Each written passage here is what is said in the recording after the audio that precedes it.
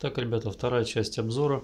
Это практическое применение, а именно проверка блока питания роутера и аккумуляторы пальчиковые. Насчет роутера мне немножко подвели мои домашние, не выкинули блок питания, который у меня был помечен как неисправный.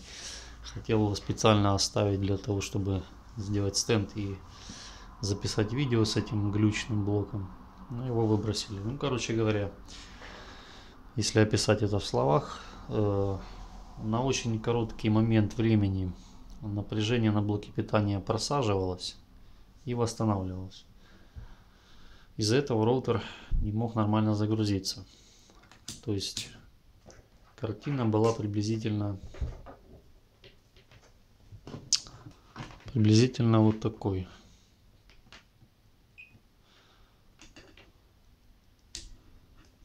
То есть вот нормальное напряжение блока питания. Оно стабильное. Но вот если, к примеру, сделать вот такой короткий, кратковременный обрыв, то прибор сразу это регистрирует. И вот на том блоке питания вот так вот время от времени пропадало напряжение.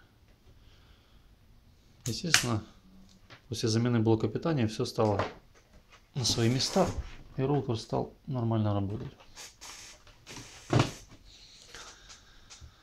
Ну теперь вот роутер загружается. Подождем секунду, подключим патчкордик и проверим, как роутер выдает IP адреса чтобы убедиться, что сам роутер живой оказался.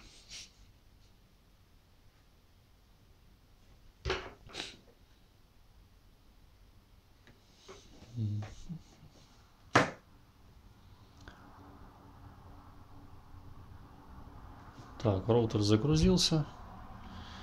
Включаем прибор, проверяем, как работает выходные порты на роутере. Так, линк есть. Получить IP-адрес. Пожалуйста, IP-адрес мы получили, даже пингуем DNS и шлюз. Все отлично. Все, роутер отдаем людям. Слышим спасибо. Так, следующее пальчиковые аккумуляторы.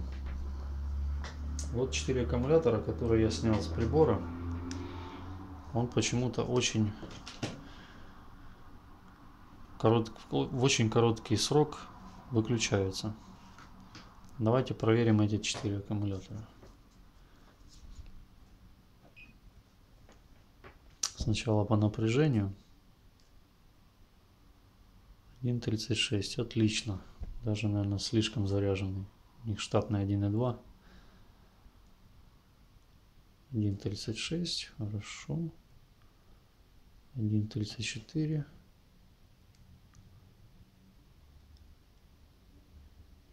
А тут что-то совсем худенько, 0.87 вольта. Так, ну понятно, что подозрительный элемент это вот этот. Так, а если мы возьмем еще какой-нибудь. 1.31 нормально.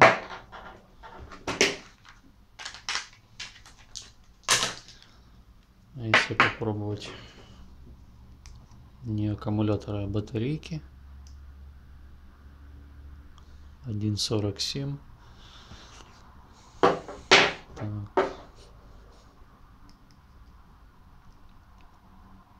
Ого, 1.50, ну нормально. Так, что у нас здесь? Нормальный, нормальная заряженная дюраселка. Хорошо, с этой наверное, не пройдет. Ладно, возвращаемся к вот этому элементу питания. Вот я его уже неоднократно заряжаю, и он опять быстро садится. То есть надо проверить его по току. Переключаемся на амперы DC, то бишь постоянный ток. Делаем кратковременные замеры с захватом максимального значения. Берем сначала заведомо живые аккумуляторы.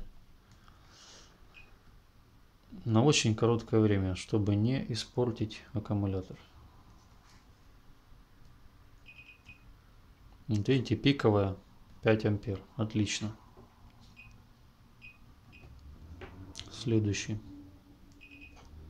Тоже 5,3. Отличный аккумулятор. 4,8. Нормально.